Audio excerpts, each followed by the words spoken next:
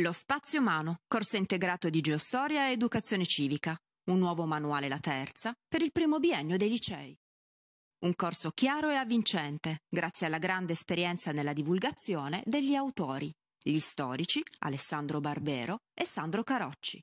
Il progetto, un corso integrato di storia, geografia, educazione civica, costruito sui temi comuni alle tre discipline, per comprendere il passato attraverso il confronto con il presente. Nel corso, i capitoli di geografia e educazione civica sono tematicamente collegati ai capitoli di storia.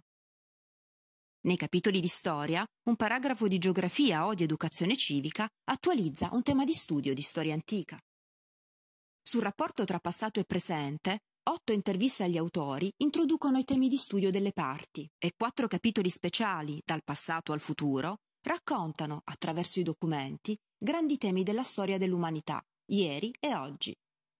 Epidemie e pandemie, vincitori e vinti, minoranze e persecuzioni, le grandi migrazioni. Alla ricchezza delle culture antiche, patrimonio comune dell'umanità, sono dedicate le rubriche dei capitoli, box tematici, documenti e vedere la storia, sincronie.